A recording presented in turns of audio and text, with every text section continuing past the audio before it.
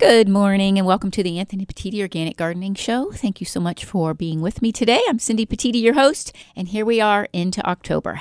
And um, so much happens in October. We are in the midst of harvest time, um, and so lots of things are happening. So we're going to go ahead, open up our show with a word of prayer, and get into all that's happening around Stark, Tuscarawas, Wayne, and Holmes counties.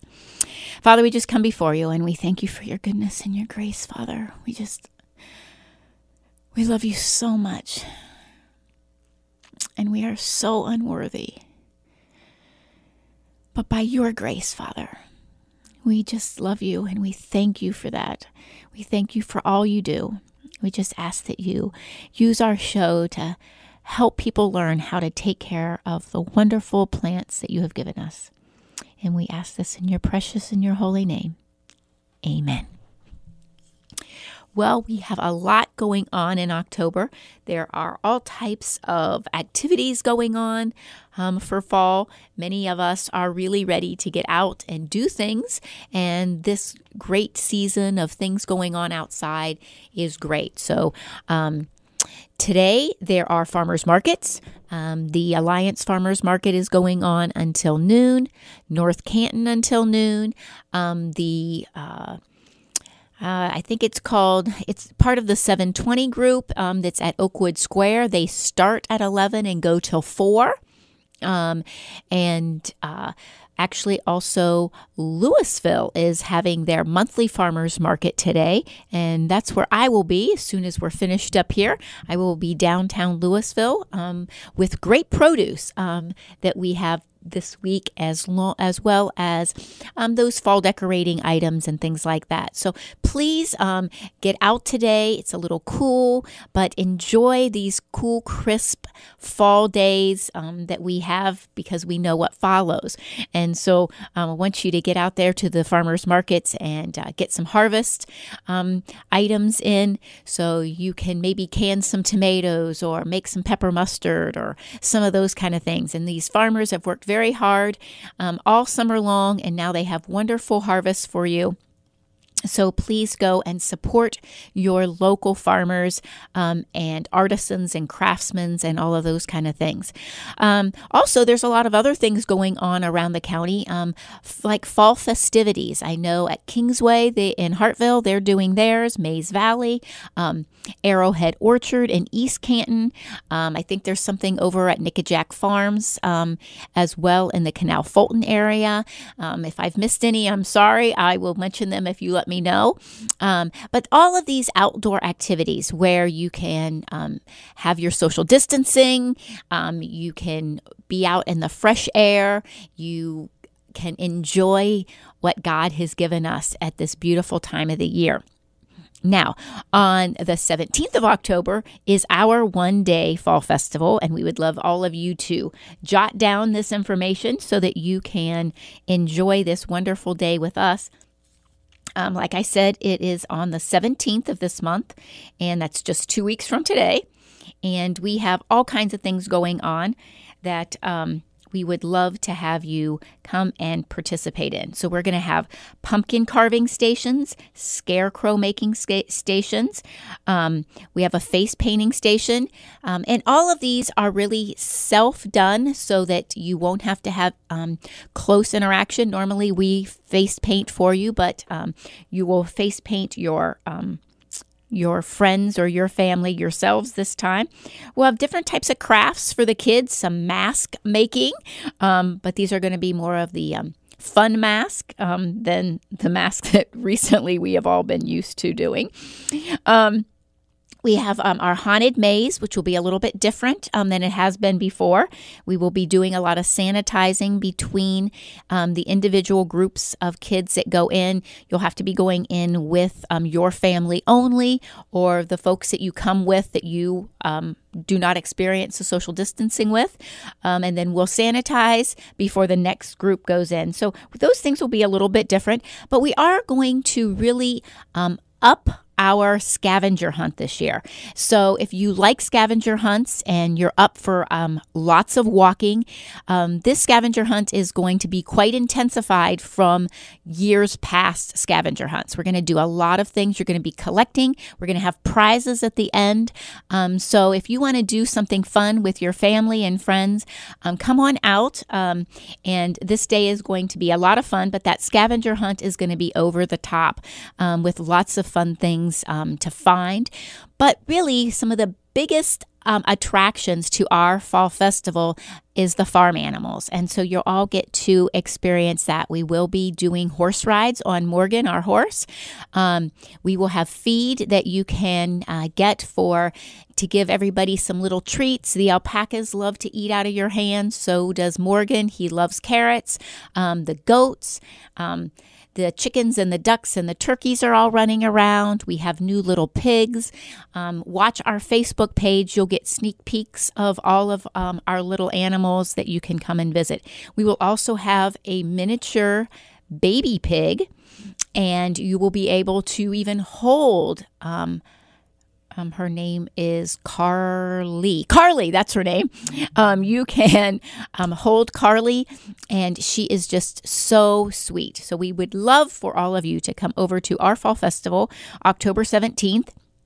We will have um, food and fun and games and vendors. So many of the farmers market vendors that you are used to seeing, those markets will be ending next Saturday. And so those vendors will be at our fall festival. So um, if you want some great produce, um, we'll have um, several of the produce vendors, um, but really some great artisans and craftsmen um, that will be set up at our fall festival as well. So it's going to be a lot of fun. We have Carmen. She is new um, to our group and she does string art and she does such an exceptional string art. She did some volunteer work at our store um, this summer with a group and um, we saw her talent and so we have actually displayed it at our store, but she's also going to be one of our vendors at the Fall Festival. So that's going to be a lot of fun. So we would love all of you to take advantage of that. And also, um, if you are in the Louisville area, um, Louisville has, for several years, the Chamber of Commerce has sponsored a scarecrow um, parade. So the scarecrows will be on parade um, starting next Saturday, the 10th. Um, chamber members, we all um, build a scarecrow um, about our business, and um, we will be setting them out next Saturday morning between 10 and noon. And then they will be on display at their little parade through the uh, 25th, I believe and um, that will be yes and through the 25th they'll all they'll be on display and then they'll be um, taken down at that time. But that way, um, and we'll have different types of um, activities throughout. But this is going to be a lot of fun for you to go through um, Louisville and see the scarecrows. They will all be on display um, in the green space um, at 504 East Main Street, um, right behind the old post office where the old middle school used to sit. so that's going to all be on display. So we want to, you know, invite invite you to um, go downtown Louisville and um, check those out. And if you come down to the farmers market today, you'll get to see me and we'll direct you where the scarecrows will all be, and you'll be all set to uh, take part in that fun activity. Well, we need to get into some of the questions um, that you all have had throughout um, the last week about what's going on in our gardens and harvesting time, and some of the things we'll probably touch on that we touched on um, in past weeks, but we want to make sure um, that we cover a lot of these things. And first off, um, we have had a lot of people asking about caladium. And caladiums um, are a bulb and they are very, very pretty. Um, some people get them mixed up with hostas um, or aloe and colocasias um, because they are just a leafed plant. They don't have a flower and um, they are. They have a large leaf, but not as large as like the cala- the alocasia or some people call them elephant ears.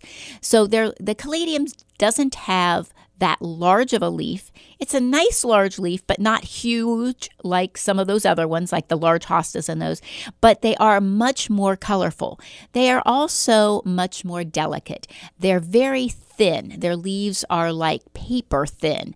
Um, and they tear very easily, so they don't handle the cold at all. So if you have caladium, um, in a pot or in the ground, whichever, they if you haven't pulled them in yet, they are probably starting to look really, really bad. If you pulled them in because you have them in a pot, they're probably still looking good because they cannot handle under 40 degrees. And in most areas, we have had a couple nights that it did get under 40 degrees. And um, so they might not be looking well. But just because, and this is where our questions have come in, they have a caladium, um, they left it out, it is looking, it's wilted completely down now. Is it dead? So that is top part is dead. It's gone. It's nothing else is happening. No photosynthesis is going through. It's done. But you can harvest your bulb and save it till next year.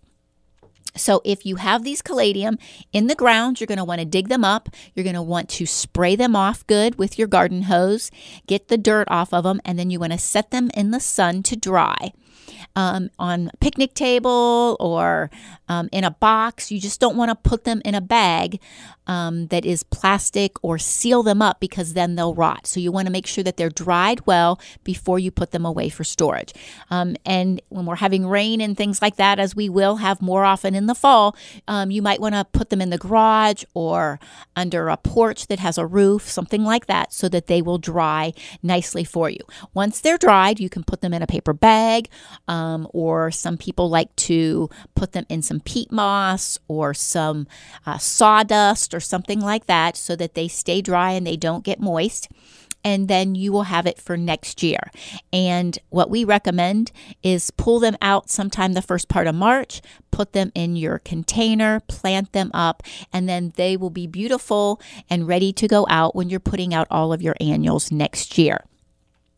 You're going to do the same with your caladium as you do your aloe and colocasias. Um, those are the elephant ears um, because they are not a hardy bulb either. Now, many people have asked, well, what happens if I just leave them in the ground? And in most cases, if you just leave them in the ground, they will just die because their bulb is not meant to handle our winter temperatures.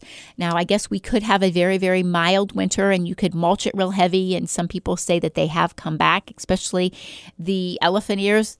Um, but normally they will not. And I have never seen a caladium come back that was you know, left in the ground or left outside. So you definitely want to bring it in. The other question that we had was can I leave my caladium? I pulled it in before the frost and I so it's still looking beautiful right now. Can I keep it going?